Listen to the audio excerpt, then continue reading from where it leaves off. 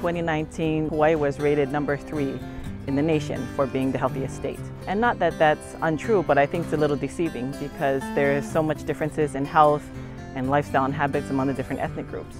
Um, for example, Native Hawaiians have the highest rates of obesity, and it's higher than, than the national rate. So about three in four Native Hawaiians are considered overweight or obese, and that's quite a high rate. They also have the highest rates of heart attack and of depression and kidney disease. As Native Hawaiians, we've experienced more than our share, more than the state average for other ethnic populations of both medical and mental illnesses, and certainly higher rates of obesity-related diseases such as diabetes, cardiovascular disease, and some cancers. Ulu is one of our food staples, um, and nutritionally it's an excellent source of vitamins A, and B. It's an excellent source of magnesium, potassium, calcium, and iron, and all these nutrients are essential in helping our body, our enzymes to function, our brain function, our eyes, our muscles, our heart, um, and our bones. If you compare ulu to rice, say for example, it has five times more fiber than rice does. If you're comparing it to potatoes, it has two times more protein than potatoes. Some of the key things that ulu has compared to like say these other staples that's, that's used in other cultures is that it's very high in lutein and it's very high in beta carotene. Lutein is really good in maintaining good vision. It's also very good for cognitive and brain health.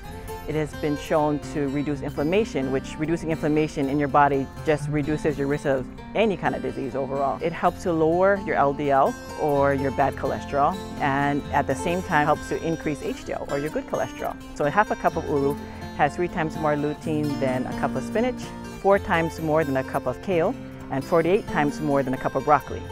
So when you compare it to other vegetables, you can see how it's, you know, pretty, pretty nutritionally superior in that sense. And for beta carotene, it's, it's really good for heart health. It's really good in preventing cancers. And that's mainly because it's considered an antioxidant. So antioxidants help to protect our cells from getting damaged, which can lead to disease. Again, a half a cup of ulu has uh, three times more beta carotene than a cup of carrots. When you talk about beta carotene, usually the first thing people think about is carrots but it also has more beta carotene than sweet potato and more than spinach and kale as well. So the amounts that's in ulu is just so much higher and of course you're eating less of it, like half a cup of ulu to one cup of all these other vegetables. When we return to our native diet, it's part of our returning to our healthy lifestyles. The Polynesian diet was the healthiest diet on the planet. It was very low in sugar, very low in fat, it was very nutrient dense in that it was largely fish, limu, and some very limited plants, interestingly enough. The Dietary Services Department at Kona Hospital has been on an initiative to increase plant-based nutrition options for our patients as well as more culturally sound options. We find that this increases the likelihood of people eating an adequate diet to heal. Incorporating local foods such as ulu into our menus has meant that our patients have a new excitement for hospital food. They see this food that they might remember growing up with, maybe their auntie or their grandmother used to cook with ulu. Sometimes people kind of just forgot about ulu. And now when they see it on the menu, they're choosing it and they're very excited. People are saying, please do more ulu. We love the ulu burgers. We love the ulu casserole. Please use it because they know that we're sustaining the island. We're, you know, sending our money, our food dollars back into the community and we're supporting this cultural food that we're bringing back on the map here in Hawaii.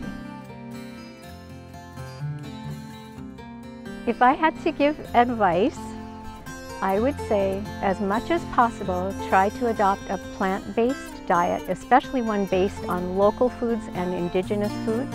Drink lots of water, get a good night's sleep. Malama ohana, take good care of your family and friends. Malama aina, take time out of every day to pule, to ponder and to read so that you develop a strong spiritual and intellectual foundation. Following that advice, we will be the healthy people we were meant to be.